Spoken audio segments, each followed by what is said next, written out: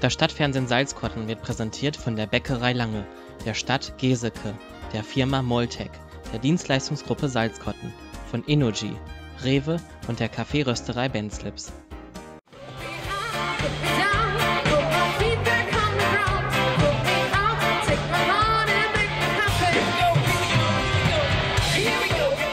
Donnerstags in Salzkotten der finale Teil der Konzerttrilogie auf den Marktplatz. Bei hochsommerlichen Temperaturen ging es kurz vor Ende der Sommerferien noch einmal richtig rund. Nachdem in der Vorwoche das Konzertevent wegen einer Unwetterwarnung kurzfristig abgesagt werden musste, war die Freude an diesem Abend umso größer. Auch bei Miriam Ahrens von Salzkotten Marketing. Ja, wir freuen uns sehr. Also letzte Woche mussten wir leider aufgrund der Sturmwarnung absagen und heute, heute Abend ist es umso besser. Das Wetter ist perfekt, die Leute haben Spaß, es ist gute Musik, es macht, macht Freude. Donnerstags in Salzkotten, das ist für die Nichturlauber die perfekte Möglichkeit, nach der Arbeit mit Kollegen und Freunden ins Gespräch zu kommen und Live-Musik zu lauschen. Bereits im fünften Jahr findet die Konzertreihe nun schon in Salzkotten statt und hat sich zu einer festen Marke entwickelt.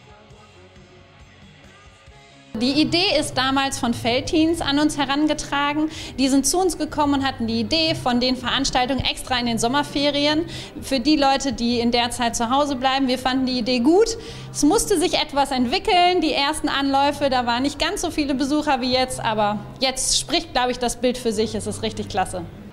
So ist es. Das Konzept kommt einfach an, sogar bei den Jüngsten, die sich in diesem Jahr erstmals über den eigens aufgeschütteten Stadtstrand freuen durften. Mir gefällt in Donnerstag Salzkotten, weil hier gute Stimmung ist und fröhliche Leute. Ich finde es schön, weil das gibt es ja auch nicht in jeder Stadt und die, die Lieder sind einfach toll. Mittlerweile wohl auch jedem bekannt dürfte die Tatsache sein, dass sich jeder Besucher für den Getränkeverzehr einen Festivalbecher kaufen muss quasi als Eintrittskarte. Für 3 Euro ist er an allen Veranstaltungstagen einsetzbar, allerdings nur in dem jeweiligen Jahr, in dem der Becher gekauft wurde.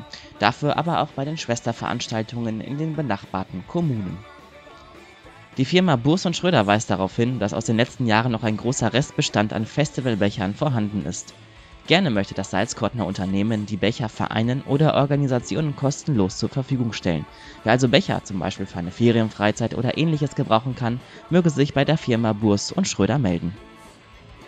Von der Theke zur Bühne. Auf der Bühne toben sich die Musiker von Live Haftig an diesem Sommerabend so richtig aus.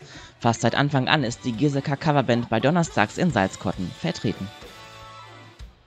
Ich glaube, das kann man zumindest heute so von der Personenzahl habe ich den Eindruck, man kann das bestätigen. Also es ist total voll. Ja. Äh, wir freuen uns, dass wir nicht letztes Wochenende da waren, weil da ist ja ausgefallen.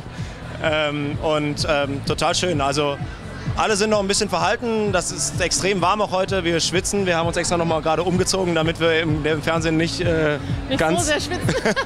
ähm, aber es ist total schön und ähm, ich glaube jetzt gleich in der, in der letzten Runde, wenn es jetzt gerade ein bisschen abkühlt, dann wird es auch richtig äh, Stimmung geben. Ja. Bei ihrem Auftritt in der Hederstadt zeigte sich die Band an diesem Abend besonders publikumsnah und feierte mit ihren Fans, die teilweise schon vor Konzertbeginn auf den Marktplatz gekommen waren, um ihren Idolen nah zu sein. Das ist irgendwie verrückt. Also manchmal ist es so ein bisschen surreal. Also äh, man, ich verstehe es teilweise nicht. Also irgendwie die Leute mögen uns total und das ist so schön, das zu erleben. Aber irgendwie ist es ganz komisch irgendwie jeden, jeder kennt einen irgendwie. Hier in Salzkotten hat man irgendwie mittlerweile das Gefühl. Und, aber das ist auch ein bisschen schön. Also man kennt halt extrem viele Gesichter. Ja, und wenn die dann extra vorbeikommen, sind ein paar Leute extra mit dem Fahrrad hier hingekommen und kommen viel früher, um uns irgendwie zu sehen und mit uns zu quatschen. Das ist schon schön. Ein total schönes Gefühl. Mit einer Mischung aus Pop, Rock, Schlager und Eurodance heizten die Geseka Vollblutmusiker dann den Selzern richtig ein. Bis es wieder heißt, donnerstags in Salzkotten wird nun eine Zeit vergehen. Erst in den Sommerferien 2019 wird es vor dem Rathaus wieder musikalisch zur Sache gehen. Wer so lange nicht auf musikalische Highlights verzichten möchte, darf sich bereits auf das Hederauenfest in der kommenden Woche in Salzkotten freuen. Auch dort werden verschiedene Livebands die seltsam mit handgemachter Musik verzaubern. Man darf also gespannt sein und nicht vergessen, man sieht sich wieder donnerstags in Salzkotten. Das Stadtfernsehen Salzkotten wird präsentiert von der Stadt Salzkotten, der Apotheke am Salidenhof und der Ratsapotheke im Heder Center, der Firma MIG, der Volksbank Brilon Büren Salzkotten, von KD Fliesentechnik, dem Schuhhaus Seanschuk und dem Einrichtungshaus Niggemeier